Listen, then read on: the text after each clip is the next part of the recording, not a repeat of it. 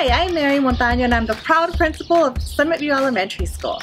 Summit View is the heart of the Summit community. It is well loved and respected by all the community members and students alike. One of the things that we work very hard on is to create a learning culture.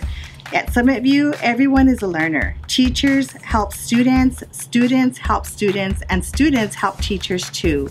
We pride ourselves on how hard we work and how articulate we are about our learning. We have a lot of fun at Summit View. We have a paw club, and in our paw club, we have all of the sports.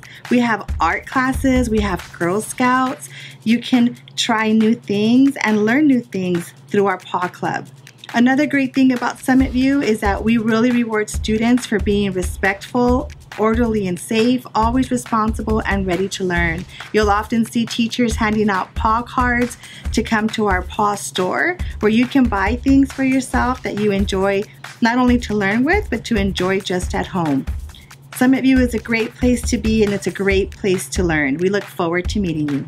Go to susd12.org to register.